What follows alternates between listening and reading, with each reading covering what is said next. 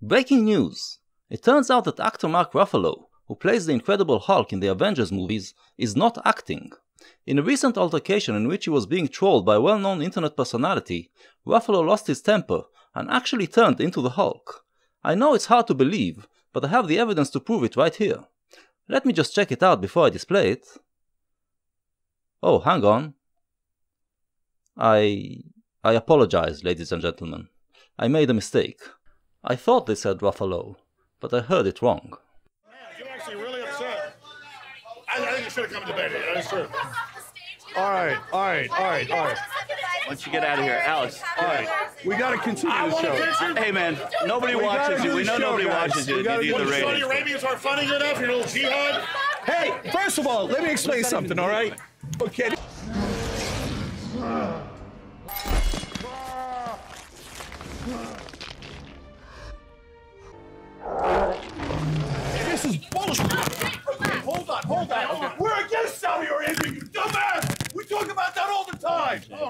Really? About that all the time. You don't know shit. What do you think? The lizard people are in charge? No. Is that what you think? Hey, you're pissed. Bilderberg. Your ass. Is that what you think? You're the anti-liberal and you're pissed. Bullshit. We're being nice here. You know what I care about? I care about, I care about the American people. What's the matter, Cenk? Are we getting to you? Cenk likes to pretend that he doesn't mind that suddenly many people are calling him a regressive and a Muslim apologist, but this explosion suggests otherwise. Turns out it really stings him when you suggest that he is defending Saudi Arabia.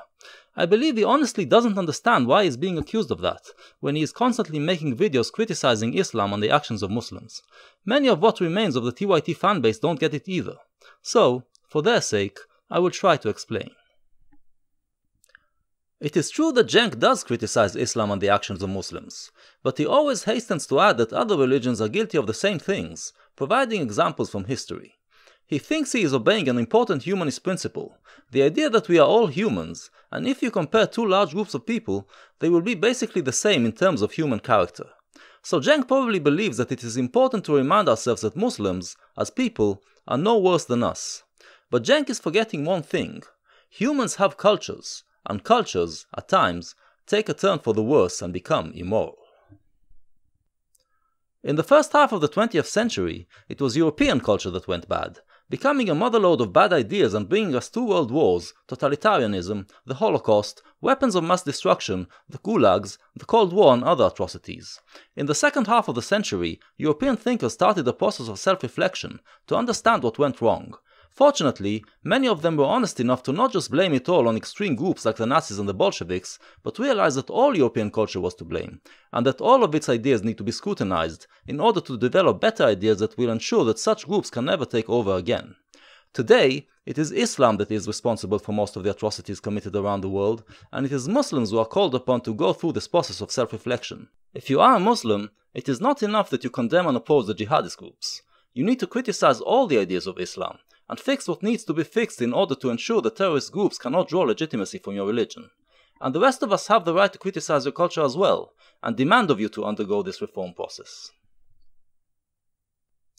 And this is where Cenk fails.